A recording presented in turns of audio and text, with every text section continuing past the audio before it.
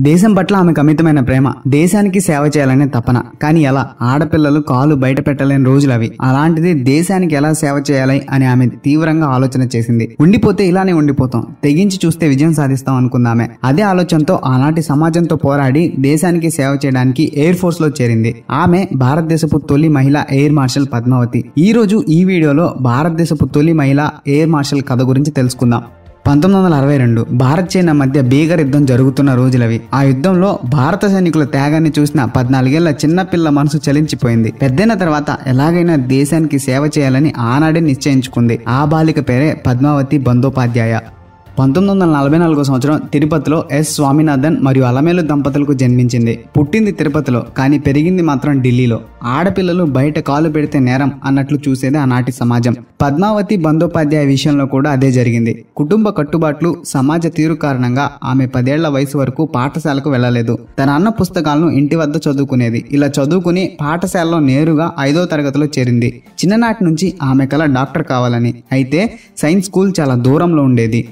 దీంతో అంత దూరం బస్సులో పంపడం ఇష్టం లేక పద్మావతి తల్లి ఆమెను ఇంటి ముందు ఉన్న స్కూల్లో జాయిన్ చేసింది. అక్కడ చరిత్ర ఆర్థిక శాస్త్రం తమిళం సంస్కృతం నేర్చుకుందామె తర్వాత ప్రీ మెడికల్ కోర్సులో చేరతానని తల్లిదండ్రులను కోరింది. కుమార్తె కోరికను కాదనలేక ప్రీ మెడికల్ కోర్సులో సీటు కోసం ప్రయత్నించారు పద్మావతి తండ్రి స్వామినాథన్. అయితే సైన్స్ బేస్ లేనందున ఏ కాలేజీ కూడా సీట్ ఇవ్వడానికి ముందుకు రాలేదు. దీంతో స్వామినాథన్ ప్రతి కాలేజీకి వెళ్ళి తమ కుమార్తెకు సీట్ ఇవ్వాలని విన్నవించుకున్నారు. చివరికి ఒక కాలేజ్ ఆమెకి సీట్ ఇవ్వడానికి ముందుకొచ్చింది. అదే ఢిల్లీ యూనివర్సిటీ చదువు కొనసాగుతున్న సమయంలో పంతొమ్మిది వందల అరవై రెండవ సంవత్సరంలో భారత్ చైనా మధ్య యుద్ధం ప్రారంభమైంది. చూస్తుండగానే యుద్ధం తీవ్రమైంది. యుద్ధంలో భారత సైనికుల త్యాగాలను చూసి చలించిపోయారు పద్మావతి. దేశానికి ఏదైనా సేవ చేయాలనే ఆలోచనలు ఆమెకు కలిగాయి. ఎలాగైనా ఆర్మీలో చేరాలని దృఢంగా నిశ్చయించుకున్నారు ఆమె.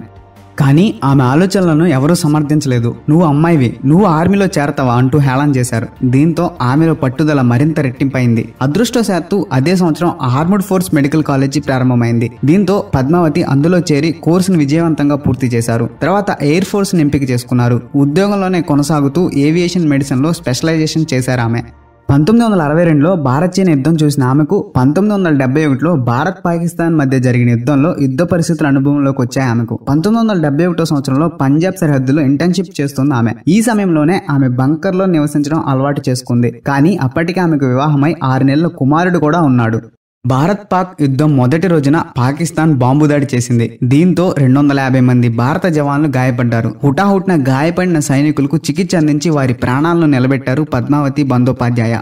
కార్గిల్ యుద్ధ సమయానికి ఆమె కలనం స్థాయికి ఎదిగారు. పద్మావతి బందోపాధ్యాయ భర్త కూడా ఎయిర్ ఫోర్స్లోనే పనిచేసేవారు. పంతొమ్మిది వందల డెబ్బై ఒకటి భారత్ పాకిస్తాన్ యుద్ధం తర్వాత ఈ దంపతులిద్దరికి ఒకేసారి విశిష్ట సేవా పురస్కారం లభించడం విశేషం. ఇలా భార్యాభర్తలు ఒకేసారి మెడల్ తీసుకోవడం ప్రపంచ చరిత్రలో లేదు. ఇది ఒక రికార్డ్. దేశానికి ఆమె చేసిన సేవలను గుర్తించిన ప్రభుత్వం రెండు వేల ఇరవై జనవరిలో పద్మశ్రీ అవార్డుతో సత్కరించింది.